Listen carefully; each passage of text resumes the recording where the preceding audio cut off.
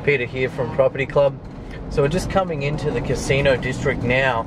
In front of us is Moa, the Mall of Asia. So then we- we're going to turn left just before Moa. We're going to go to the City of Dreams. So that's um, Jamie, young Jamie Packer's new casino. It's a big casino, he spent billions of dollars on it, as well as the Okada Casino by the Japanese guy, I believe he owns uh, Universal Studios.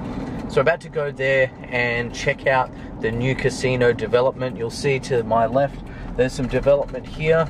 Uh, in front of me as well, there's also a lot of development as well uh, in the local areas. Literally, um, you, you'll see at least 50 cranes down here in um, in the Manila Bay Area because this is the new Macau. They're calling this, uh, I believe it's Asia World or Asia City or something. It is the Filipino version of Macau, and quite literally, I might have stated this in a in a previous video. You got some great big you know, giants like Okada that are coming in. Owner of Universal Studios going to make this amazing casino. It's just soft opened uh, a, a, month ago or, or, three weeks ago now. And he spent four billion dollars on the casino. It's absolutely epic.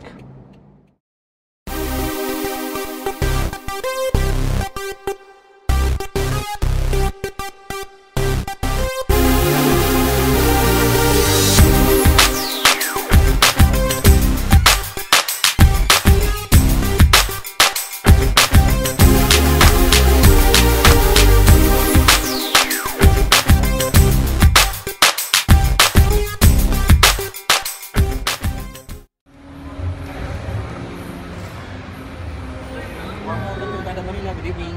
Good evening. Good evening. Warm welcome to Okada, Manila.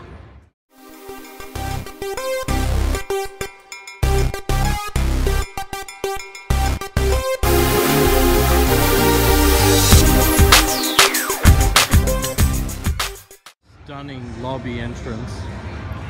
And here we are at the casino and I'm not allowed to film inside there so I better switch off the camera. Here we go.